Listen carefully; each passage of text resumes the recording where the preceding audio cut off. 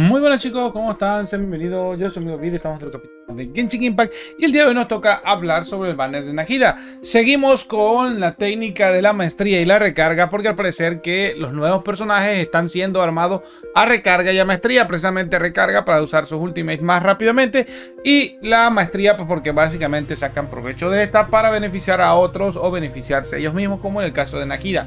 Bien, en el banner de armas chicos de hoy vamos a hablar sobre los sueños de las mil noches que es el arma Nagida, el agitador relámpago, que es el de Joy que va a venir junto con ella en el doble banner. Y tendremos el rumbre, flauta, tendremos también eh, la eh, espada de sacrificio, tenemos la lanza de la lanza de Favonius y tendremos el Sinfonía de los Mediadores. Vamos a hablar sobre cada una de ellas y vamos a ver qué nos tienen propuesto este banner. De por sí ya les vengo diciendo o les comento que este banner está muy bueno, tiene muy buenas armas, Salvo en el caso de la espada corta, que me pareció que era sacrificio. No sé por qué pensé que era sacrificio, pero no es sacrificio, es la flauta. Así que bueno, solamente por esa excepción, creo que considero que es un banner no de 10 de 10, pero por lo menos un 8 de 10. Así que veamos por qué razón. Muy bien chicos, vamos a empezar con el arma de Najida, que es Sueños de las Mil Noches. Vale, ¿qué es lo que hace este catalizador? Bueno, primero que nada tiene una maestría de 265, bastante buena para su arma de nivel 90, ataque básico 542. Recuerden que Najida se beneficia de los dos bonos, tanto de maestría como de ataque. Si tiene un excedente de maestría, lo convierte en ataque y además les regala esa maestría. Después de tener creo que el 200% de su maestría, que son como 1000 aproximadamente, les va a regalar el 10%, le va a regalar el 20% a sus compañeros, que son como 200 de maestría. Algo así aproximadamente.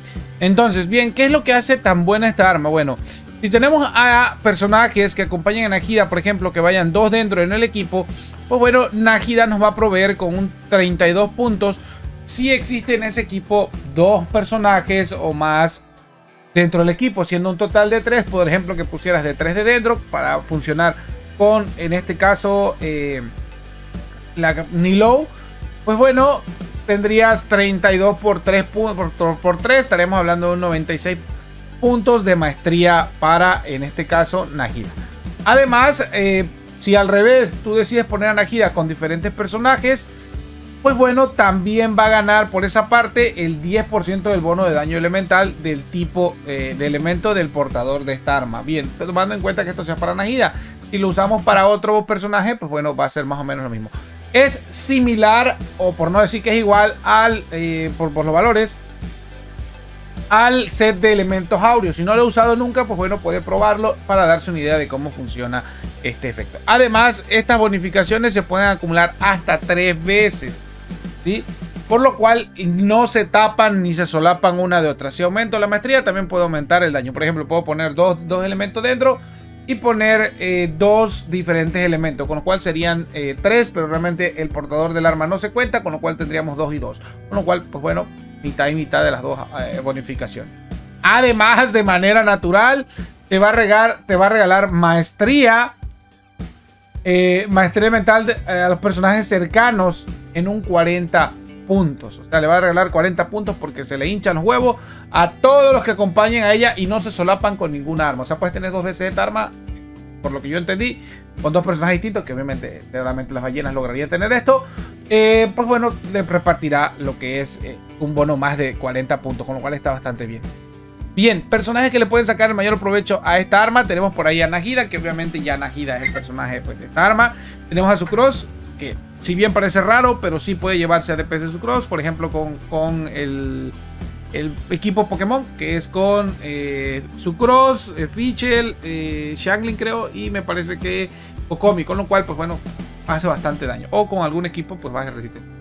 Ya Miko también, aunque parezca tontería, puede sacarle provecho en eh, una combinación de elemento dendro electro, con lo cual viene bastante bien. Recuerden que esa es la combinación que se está usando ahorita últimamente. Ya vimos que con Nilo eh, los personajes bien armados o bien diseñados para funcionar con maestría están pegando muy duro y muy constante, con lo cual hay que tener ojito con esa parte. Tenemos a Lisa, parece raro que Lisa eh, sea tan fuerte, pero recuerden que Lisa pega bastante rápido y pega mucho en área pero necesariamente sí te necesitan tener la constelación 6 para sacarle el mayor provecho y que pegue la mayor cantidad de veces y a, la mayor cantidad de enemigos, con lo cual le sacarías un provecho bastante brutal.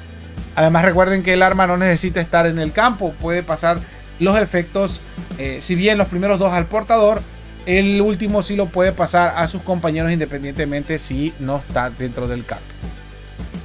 Chicos, tenemos el agitador de relámpago, el arma de Yoemilla, que es por excelencia el arco, por así decirlo. Quiero pensar que es uno de los más fuertes, sin contar el de esta, ¿cómo se llama esta otra arquera de agua? Que se me fue el nombre. Eh, no es Ganju, es este. Ay Dios, se me fue el nombre, pero en fin. Bien, esta arma eh, nos va a dar un ataque básico de 608 y nos va a dar 66.2 de daño crítico, una burrada.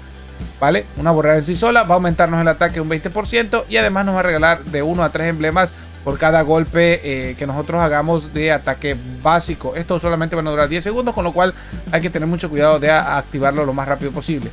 Y el cual nos va a regalar con esos emblemas, cuando se activen, un 12, 24 y un 40% más de daño infligido. Con lo cual está bastante bien. Personajes que le pueden sacar el provecho a este arco de Yoemilla, pues obviamente la propia Yoemilla, Child, obviamente eh, el personaje Child también le va a sacar bastante provecho o el Tartaglia, como lo conocemos nosotros, Pichel y Amber. Suena raro con Amber, pero sí le puede sacar esa probabilidad y sí le puede usar con ataques básicos. No es común porque, pues bueno, ella no pega con elemento como tal, pero sí que puede sacarle ese provecho si la usamos. Queremos usarla como un DPS eh, físico o un DPS de no sé qué raro, medio raro, pero bueno, en fin. Eh, de ahí tenemos el Herrumbre, que es el arco preferente para los free to play de eh, Yoemilla. Si es que usted no lo ha sacado completa R5, pues puede darse un tirito con el arco de 5 estrellas que acabo de mostrar ahorita, pero siempre y cuando esté en rango 5. Bien, nos va a regalar 41% de ataque, 41.3, 510 de ataque.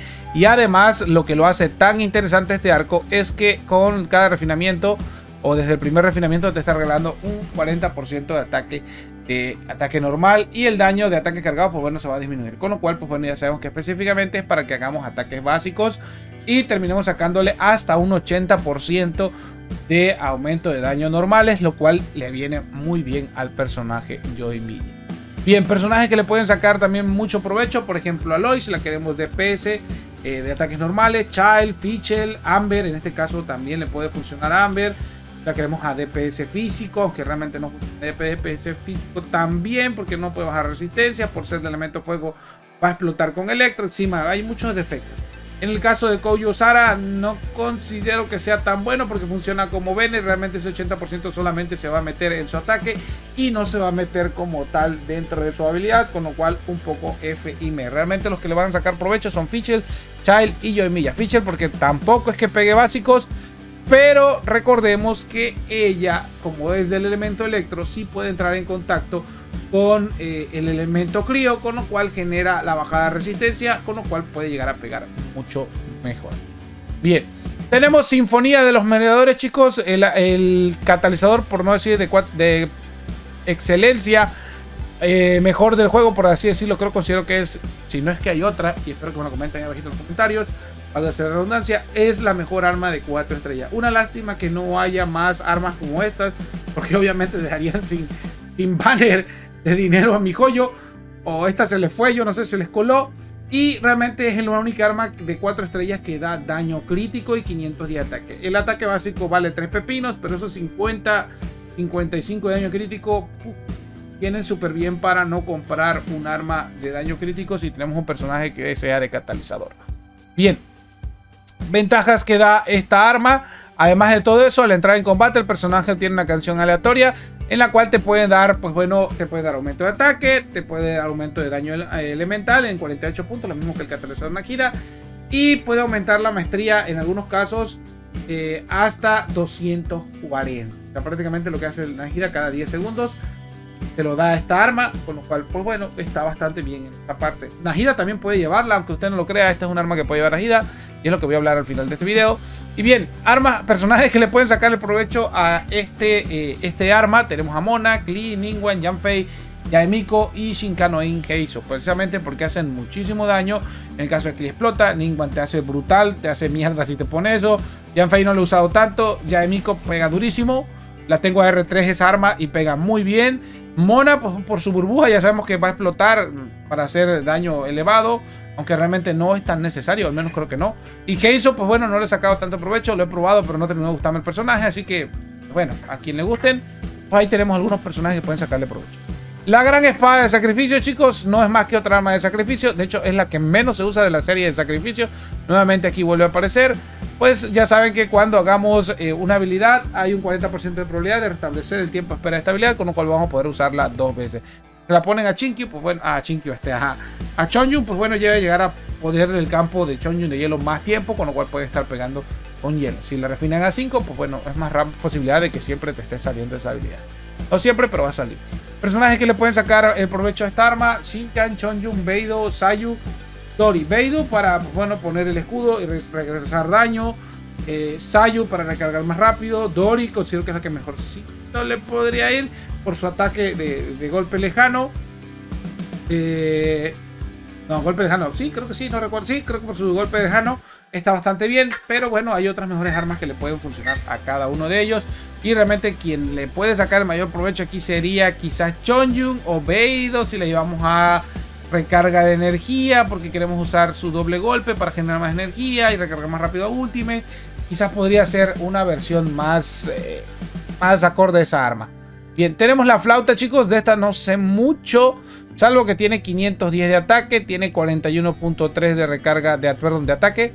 Eh, con lo cual, pues bueno, está bastante bien. En el caso de sus habilidades de esta arma, pues bueno, eh, al golpear los ataques normales y, uh, cargados obtienen un armónico. Si tenemos 5, activan que puedas infligir un 100% de daño de ataque a los oponentes de alrededor. Y estos duran 30 segundos y se puede tomar un armónico cada 0.5 segundos. Perdón chicos. Bien, con lo cual, pues bueno, no es un arma que particularmente me llame la atención, precisamente porque como ya siempre he dicho y vuelvo a repetirme y me voy a repetir en todos los videos, realmente las armas que sacan provecho actualmente son las de daño crítico y probabilidad. Y o actualmente para personajes de sumero, en la mayoría de los casos, de maestría o recarga, con lo cual, pues bueno, el ataque se está quedando un poquito muy, muy, muy, muy atrás. Bien. Personajes que le pueden sacar provecho de esta arma, que King, Jin, Iki, Kaella, Ayaka. Esto debido a que son personajes que pegan en la mayoría de los casos de manera a media corta distancia. Media distancia, es decir, pegan de manera cercana, con lo cual siempre van a estar pegando y siempre van a estar ganando esos armónicos. Pero si no va en un DPS, no recomiendo que ustedes la lleven. Bien. Tenemos la lanza de Favonio, chicos, y esta sería pues, la última arma. La lanza de Favonio la he usado, la llevo de hecho en mi rosaria para recargar a Eula, con lo cual está bastante bien. Tiene 565 daño. Realmente lo importante de esta arma no es el daño ni tampoco la recarga, aunque son 30 puntos de recarga.